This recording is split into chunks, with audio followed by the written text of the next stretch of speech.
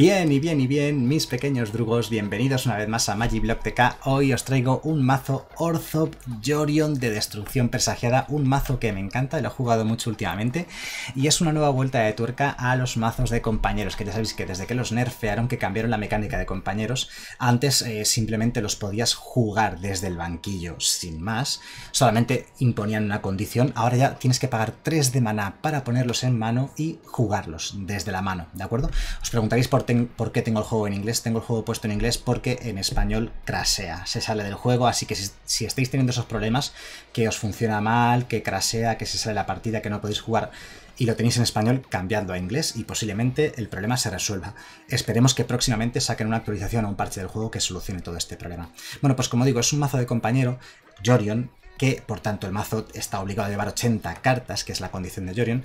Llevamos Jorion de banquillo como compañero y luego otros 3 Jorion de base, porque este mazo se basa en criaturas y encantamientos con habilidades útiles de entrar en juego, como pueden ser el Jarox Fenlurker, ¿vale? Para exiliarle cartas de la mano al oponente, la, la Burglar Rat para quitarle cartas de la mano, descartárselas, llevarlas al cementerio, o habilidades de entrar en juego también, pues como puede ser el Glass Casket, que exilia criaturas de coste 3 o menos, el Charming Prince, que hace tres cosas distintas, o bien adivinar dos, o bien ganar tres vidas, o bien sacar una criatura del juego y devolverla. Eso también es muy útil al final del turno. Y luego también, por ejemplo, el Treacherous Blazing para robar tres cartas, ah, el juramento de Kaya hace un drenar vida de 3 a un cualquier objetivo, sea, como podéis ver, muchos hechizos que tienen habilidades de entrar en juego. Y además también el Spez vence a la muerte, que es quizás el removal que más ventaja de cartas da actualmente en estándar, ¿no? Eh, tiene que ser para permanentes de coste 3 o más, que no sean tierra, pero igualmente, igualmente bueno, ¿verdad? Bueno, excelentes eh, permanentes de coste 3 o más. No dice que no sean tierra, pero no hay tierras que tengan coste, así que no hay diferencia. Pues eso, Jorion saca los permanentes que tú elijas que no sean tierra y los devuelve al final del turno. Así que, como veis, tiene muchísima sinergia con todo esto. El propio príncipe en sí, su tercera habilidad, hace también eso con criaturas, ¿de acuerdo? Así que es de todo sinergia, todo disrupción, ventaja de cartas, quita cartas, criaturas. Y luego la verdadera gran estrella del mazo es eh, la destrucción presagiada de un Fortold. Al principio del mantenimiento, cada jugador, al principio de su mantenimiento, cada jugador tiene que sacrificar un permanente que no sea tierra y que no sea ficha, ¿vale? Las fichas no cuentan para esto. Y si ese jugador no puede, pues entonces eh, pierde dos vidas, descarta una carta y tú robas carta y ganas dos vidas y pones un token 2-2 de caballero vigilancia, ¿no? Sí, vigilancia, exacto. Así que bueno, la verdadera estrella es esta. La idea es llenar la mesa de permanentes que hacen cosas cuando entran en juego y luego con la destrucción presagiada los vas sacrificando como alimento para ella misma. Y el oponente nunca, nunca va a tener tantos permanentes como tú, porque tus permanentes normalmente hacen algo que es destruir cosas, matar cosas del rival o quitarle cartas de la mano, o sea que al final es todo pura ventaja de cartas. Este mazo es parecido a la versión Esper. Hay una Esper Doom que lleva azul, Claro, porque Orzop es blanco-negro. Vale, pues esta es Orzop. Pues la Esper lleva azul, es azul-blanca-negra. Y llevan azul para el Teferi y la mansión en movimiento, ¿no? Creo que se llama en español la carta. El caso es que eh, quitamos esa parte azul, lo dejamos blanco-negro, simplificamos el mazo para no tener tantos problemas de mana. Prácticamente nunca vamos a encontrar problemas de mana en este mazo. Aunque puede ocurrir, ¿vale? Esas cosas a veces pasan, ¿no? Los problemas de mana. Y eh, se hace mucho más estable y mucho más directo a la estrategia de destrucción presagiada. Es cierto que con 80 cartas es un poquito más complicado, pero bueno, se largan las partidas, vas robando cartas, vas haciendo adivinar, vas robando cartas extras, al final acaban apareciendo destrucciones presagiadas. Nos llevamos removal masivo, no lleva ira de calla, no lleva rasgar el cielo. Los removals que lleva son tan eficientes como eh, Glass Casket, ¿vale? Para criaturas de coste 3 o menos. Eh, cartas como Kaya, que no solamente exilia cementerios, también exilia permanentes de coste 1 menos. Ojo los hornos, que exilia hornos con esto, y gatos y cosas de ese estilo. Los mortificar, eficiente, eh, instantáneo, solamente coste 3 y también destruye encantamientos, que puede ser útil, relevante. Y bueno, las ya mencionadas, eh, el Spec vence la muerte. Creo que la única carta que no he llegado a mencionar, dos cartas está, el quita cartas, Agonizing Remorse, como podéis ver, 12 quita cartas lleva el mazo de base y Elspeth Sans Nemesis, que es Prince Walker infravalorado yo creo, es mejor de lo que parece y que bueno, sé que todas sus habilidades son de menos 1, menos 2, menos 3, pero tened en cuenta que en este mazo lo vas a recuperar luego con Elspeth vence la muerte, lo vas a volver a juego con todos sus contadores con Jorion o simplemente eh, desde el cementerio lo puedes volver a jugar. Así que es bastante mejor de lo que pueda parecer en un principio. Luego las tierras, es un mazo de 80 cartas, pensad eso. Llevamos 35 tierras, pero como digo, es un mazo de 80 cartas, entonces la proporción sería equivalente a llevar 27 o 28 tierras, ¿no? Yo creo que en un mazo de, 60 habría que echar, hacer la regla de 3, ¿no? Bueno, blancas negras, muy sencillas, un castillo blanco, tres castillos negros para robar cartas extras. Lleva incluso tres triomas que dan blanco-negro, porque los puedes ciclar si te sobran las tierras. Y los cuatro pasajes de vivienda, pues bueno, para vaciar de, tierras el mazo según la partida va avanzando, ¿no? Y además de que te ayudan a buscar la tierra que necesites en cada momento. Me encanta este mazo, me parece súper divertido. Lo estoy jugando en platino bien, ganando muchas partidas con él. Es un mazo recomendado. Sé que no estoy en mítico todavía, y bueno, no sé si al final de este mes voy a hacer mítico porque ya estamos a qué día estamos ya, bueno, no sé a qué día estamos. Estamos ya casi a mitad de mes bueno, estamos, no, casi mitad de mes, no. Estamos a, día 10 o así de julio, ¿no? Entonces, eh, y no estoy rankeando en serio, quiero decir, con estándar estoy jugando sobre todo draft de M21. Entonces, pero bueno, lo importante es que yo os transmita qué mazos se están jugando y qué mazos son buenos y competitivos. Esta mano es bastante buena, nos la vamos a quedar. Tenemos disrupción, tenemos robacartas y tenemos anticriaturas, o sea, tenemos todo. Vamos a ir de tierra girada. Y estas entran enderezadas porque controlan porque esto cuenta como pantano y llanura, ¿vale? Así que esas tierras... Oh, Monored, muy interesante. Monored es un pairing que en principio nos debería favorecer. Vamos a ver qué le quitamos de la mano. Vamos a aprovechar ya esto el primer turno. Uf. Uf. Tiene muchísimo daño ya el rival. Voy a quitarle el Anax, yo creo. Estos bichos son muy pesados.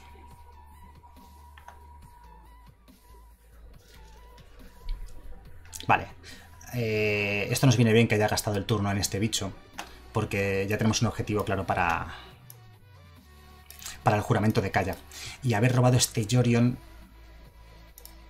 Haber robado este Yorion nos viene de muerte, porque en el quinto turno jugamos el Yorion, sacamos el juramento de Kaya juego, vuelve y encima le matamos una criatura, ganando otras tres vidas. Oh, yo creo que es una monored, pero de... de Cavalcade, ¿no? De... Mm, desfile de la calamidad, parece. Tiene toda la pinta. Tenemos un problema, obviamente, ¿no? El problema es que tiene cuatro criaturas. Voy a jugar esto para robar tres cartas ahora. Ya os digo que sí, que vamos a... Vamos a pagar una vida cada vez que juguemos un hechizo a partir de ahora.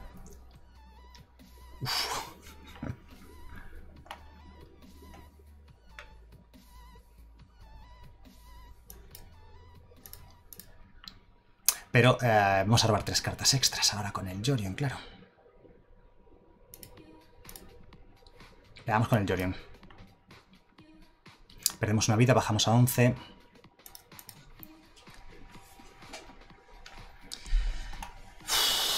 ¿Y qué matamos? Supongo que lo suyo será matar a este. Pone otros dos tokens, pero ganamos tres vidas. Ay, qué lástima. Si llegó a ser que robaba esto, lo mismo no le hacía el objetivo al Anax. Vale, tenemos más de 7 cartas en mano, nos tenemos que descartar de la que queráis. Un castillo, hemos robado los tres castillos. Hemos subido a 14, pero este juramento de Calla lo vamos a volver a sacar de juego ahora con el príncipe. La idea es que el siguiente turno vamos a hacer uh, destrucción presagiada más príncipe. La verdad es que si conseguimos ganar esta partida, Complicadísima, ha salido bestial el oponente, o sea, increíble. Si conseguimos ganar esta partida, va a ser una gran demostración de lo que es capaz de hacer este mazo en el sentido de aguantar, aguantar contra mazos súper agresivos, súper rápidos, con la cantidad de daño que nos ha hecho, ¿no? Vamos a ver qué es lo que va a hacer. De momento nos van a entrar 5 daños seguros. Uf, pues... Son 4 daños que no nos hace a nosotros, sí que les hace el Jorion, pero nos impide sacar el juramento de Kaya con el Charming Prince ahora.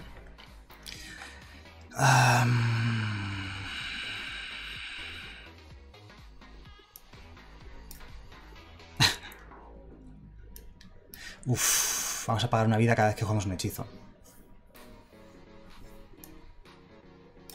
Voy a ganar tres vidas con esto.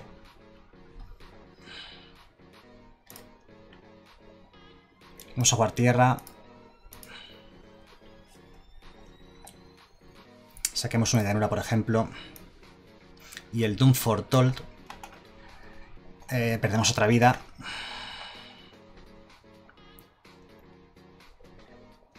Pues la verdad es que que nos haya matado el Jorin ha sido muy malo, porque con esto sacábamos al Jorin de juego, volvía. Pues nada, creo que perdemos, ¿no? Nos entran nueve, creo. Nos quedamos a uno. Sacrificamos lo de que nos hace perder vidas.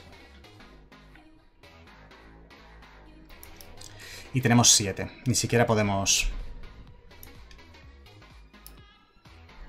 Yo creo remontar esto. Le quitamos eso, ganamos tres vidas, no morimos este turno tampoco. Él tiene que sacrificar un permanente, sacrifica ese, deja un token, tiene tres atacantes, tenemos cuatro vidas. Si tiene algo en mano, perdemos, pero si no, todavía podemos remontar esta partida, ¿eh? Ahora hace choque. Ahora hace choque y nos mata. Sería muy triste porque si nos da turno, ganamos. Bueno, no es turno, pero casi. Ojo, aquí el sacrificio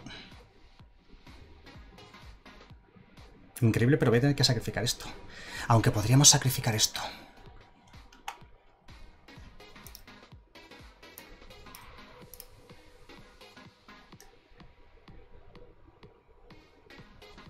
Vamos a quitarnos el experiencia de la muerte. Lo mismo hasta ganamos esta partida, ¿eh?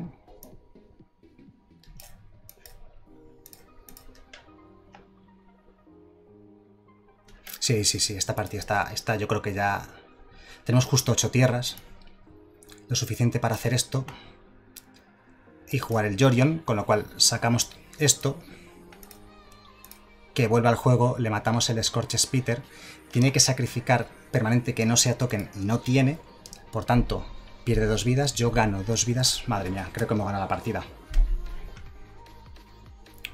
O sea, el oponente nos ha atracado turno tras turno, turno tras turno nos ha atracado, o sea, ha sido bestial.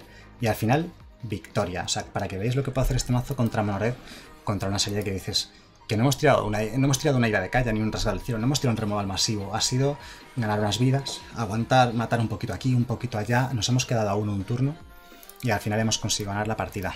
O sea, para que veáis que es un buen mazo contra Monored, por ejemplo. Si dices, ah, estoy cansado de las Monored que me ganan siempre, pues le ha salido a ver, podría haberle salido incluso mejor si hubiese tenido el desfile de la calamidad o una filoascua, por ejemplo, algo por el estilo. Pero a, cambio, lo que ha tenido es una cantidad inmensa de, criaturas y yo no tenía removal masivo. O sea, pensad que sin removal masivo aún así le hemos conseguido aguantar, ¿no? Y sin removal en general, es que no nos ha salido removal. Excepto la propia destrucción presagiada. Nos la vamos a quedar esta mano.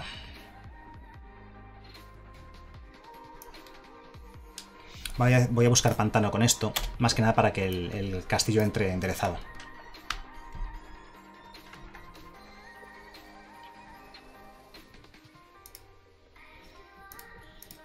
Vale. Mm, pantano Caballero de la Legión de Ébano. Busco pantano por si nos sale un Joriox o algo de eso.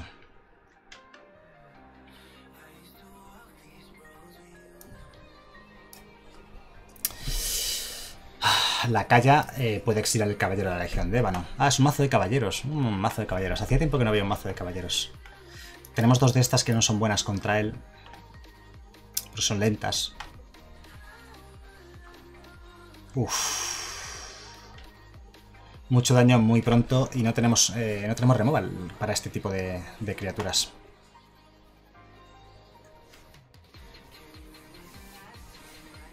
Nos va a quitar la calla, supongo. Creo que perdemos, ¿eh? Vamos a robar tres cartas a la desesperada. Tres tierras, pero nos da para jugar esto.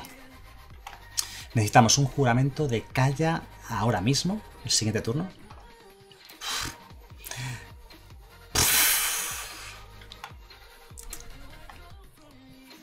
Esto crece además.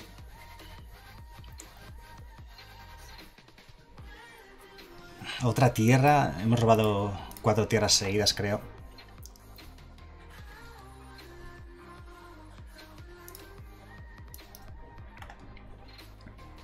Bajamos a 11. No perdemos este turno. Pero más que no tenemos nada de ganar vidas. Con un juramento de calla... Un juramento de calla. Un juramento de calla podríamos todavía hacer algo.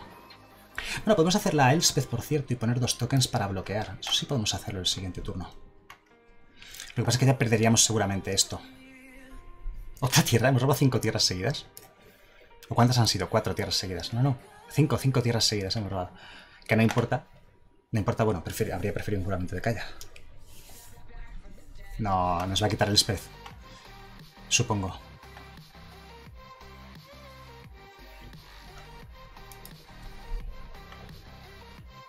Puede pegar 5 y 2, 7 y 2, 9. Nos quedamos a 1. O sea que hemos perdido salvo que robemos un juramento de calla.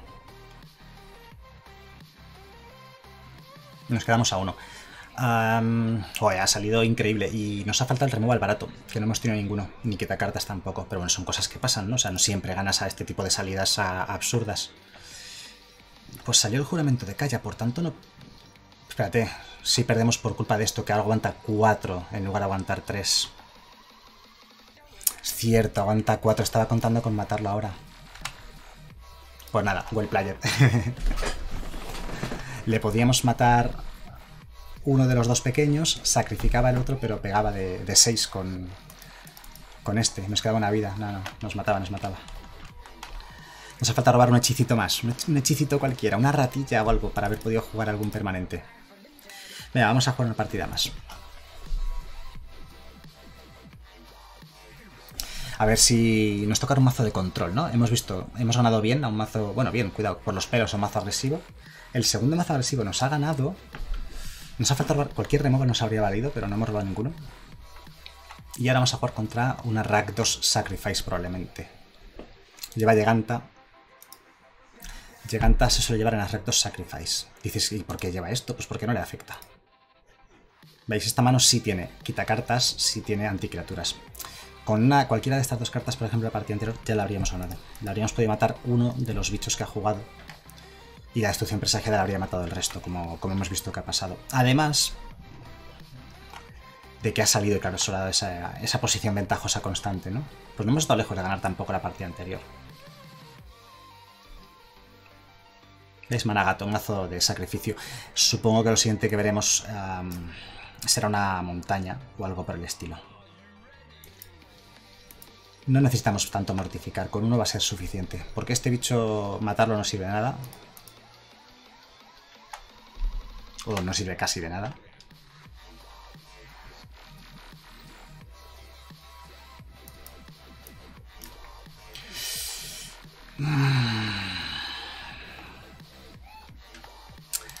Si llego a saber que iba a hacer de segundo turno la sacerdotisa, quizás me habría pensado el guardarme el mortificar para tener algún quitacartas más. O sea, alguna anticriaturas más. Sala, se ha descartado un castillo. Se ha exiliado un castillo, para ser más correcto.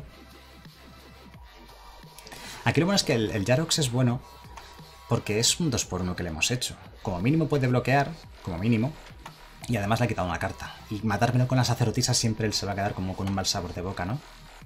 Uf, otra sacerdotisa. Si sacrifica gato y sacerdotisa para matar esto, a mí me vale. Me vale. Vale, roba carta y obtiene dos de mana. A ver qué hace. Lo que me preocupa es lo que viene ahora, no, no lo que ha hecho. Ahora viene lo preocupante. Si juega un WoW Strider o algo por el estilo. Vamos a ver qué es lo que juega. Oh, recupera los dos otra vez. Pues estaría guay... Estaría guay robar un... Un anticriaturas más. A volver hacer lo mismo. A ver qué se exilia. Cuando exilia cartas desde la mano no podemos ver lo que se descarta, la verdad. Es una pena. Hay que pinchar para verlo, quiero decir. No, te lo revela el juego. Ah, sí, un horno, ahí se ve. Pero se ve muy poco. Se ha descartado un horno. Venga, pues tierra girada, pasamos turno. Se ha quitado un horno. Qué raro, ¿no? Cuidado porque este mazo, el mazo la Rakdos Sacrifice, te gana sin atacar. Estamos en 15 de vida. Solamente con las entradas de los gatos y la sacerdotisa ya te va a quitar un montón de vidas.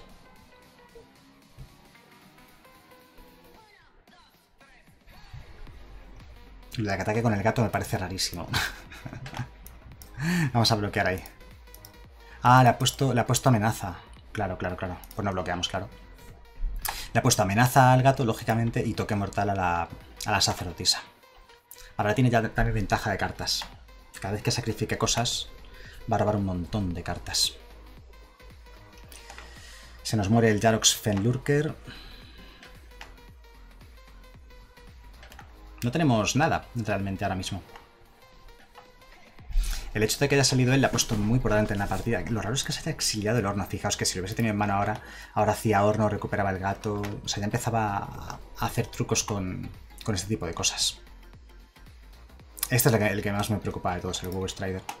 Creo que hemos perdido la partida, ¿eh? Tiene ventaja de cartas infinita. No vamos a poder hacer nada. Nada ni nada, en serio, ¿eh?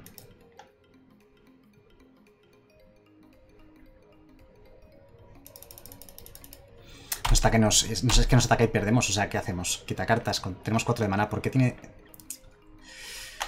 Ah, mm. Encima cada criatura que le matamos roba cartas. Si pudiésemos hacer doble hechizo este turno, pero con un solo hechizo no va a ser suficiente para hacer nada.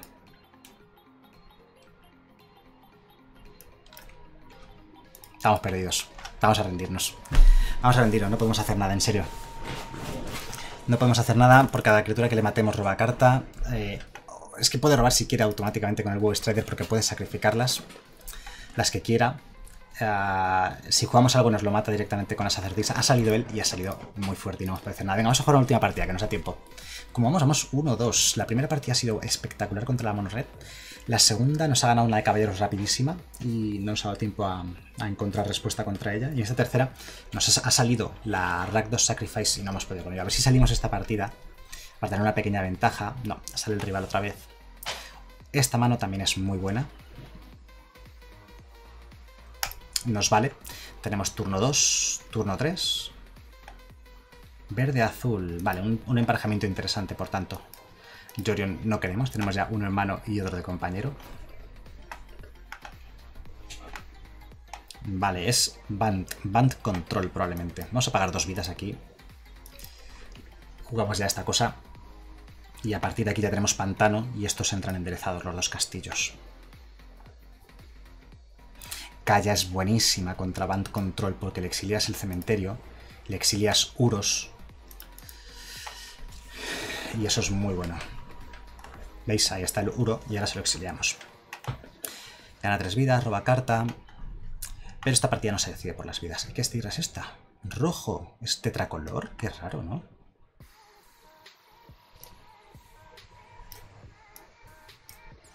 Es muy raro que sea tetracolor. O sea, me descoloca que sea tetracolor, no me lo esperaba. Normalmente son tricolor blanco, verde, azul, ¿no? Que lleve rojo también. Qué chulo es este dibujo. Qué bonito. el hecho de que lleve rojo también. Quinta tierra. Nisa. Me imaginaba que tenía una Nisa porque se ha, exiliado la primera Nisa de la mano muy, con mucha ligereza.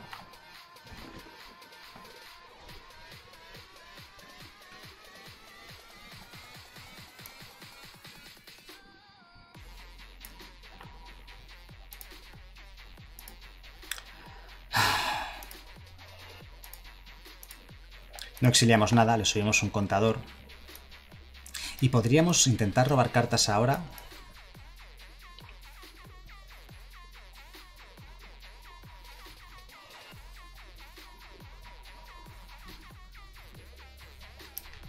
Pero vamos a hacer el spez. Ponemos un par de tokencitos para bloquear. Vamos a intentar ganar tiempo. Nos vendría genial un Elspeth vence la muerte para poder exiliar esa Nisa.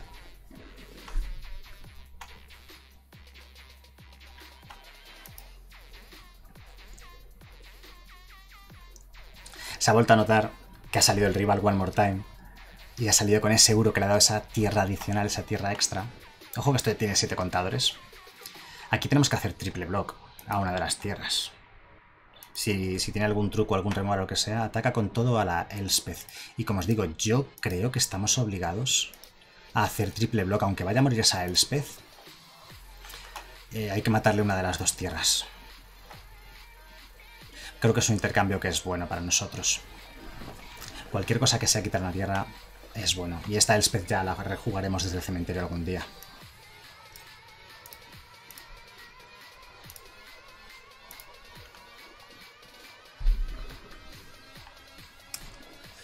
Bien, podríamos hacer doble hechizo. Pero no nos interesa demasiado.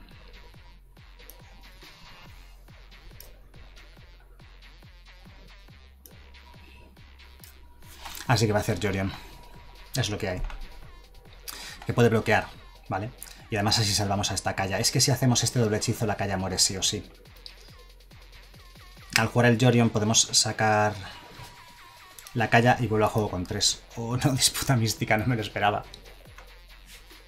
Pues ya subo 8 contadores esa misa. Necesitaríamos un juramento de o sea, un juramento de calla, no, perdón. Una experiencia a la muerte. Sería lo suyo. Otro Uro. Este es un mal pairing, ¿vale? Band Control sí que te gana. Otros mazos de control más lentos, o digamos con menos win conditions, es que la Band Control me parece que es la mejor baraja del formato. Ya lo he dicho muchas veces, muchas veces me lo preguntáis y os digo siempre, me parece la mejor. Nos ha ganado simplemente con una Nisa. Juega la Nisa y nos ha ganado. Otra tierra. Vamos a adivinar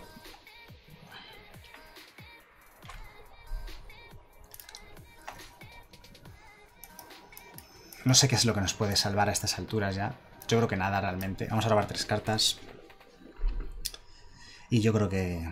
Yo creo que ponemos también esta partida, joder, qué mala suerte. Yo os quería mostrar lo bueno que era este mazo y, no va a ser posible. Nada, hemos perdido, hemos perdido. Joder, pues nada, no, no, no hemos estado muy acertados en el mazo. O sea, a veces uno se pone a grabar y gana todas y otras veces se pone a grabar y pierde todas. Bueno, no hemos perdido todas, hemos perdido tres, hemos ganado solamente una contra la monored, esa absurda del principio que la hemos conseguido ganar y remontar increíblemente. Y luego estas nos han ganado. Aún así, yo creo que es un mazo muy divertido que os recomiendo probar y practicar. Y, y es sencillo, pero a la vez es distinto a lo habitual, ¿no? Blanco, negro, disrupción. Yo creo de verdad que no hemos tenido mucha suerte. Llevamos 12 quitacartas, no han salido. Creo que no hemos llegado a jugar. ¿Hemos llegado a jugar alguna rata? Sí, en esta partida puede que haya sido. Pero poco, ¿no? Poca destrucción presagiada, poca rata, poco de eso. no hemos conseguido, digamos, tener esa presencia. No hemos salido más que una partida, creo, que hemos perdido además, creo. Si es que hemos salido alguna, a lo mejor no hemos salido ninguna. En Best of One a veces hacen falta más de 4 partidas para ver si mazos buenos. Mal hacen falta 10, 20, ¿no? Y, pues yo os digo, mazo recomendado, a mí me encanta jugarlo, yo lo juego muy a menudo y bueno, normalmente suelo ganar todas o casi todas. Hoy me tocado las de perder todas o casi todas, pero ¿qué le vamos a hacer? En cualquier caso, espero que el vídeo os haya gustado y nos vemos en el siguiente. Hasta luego.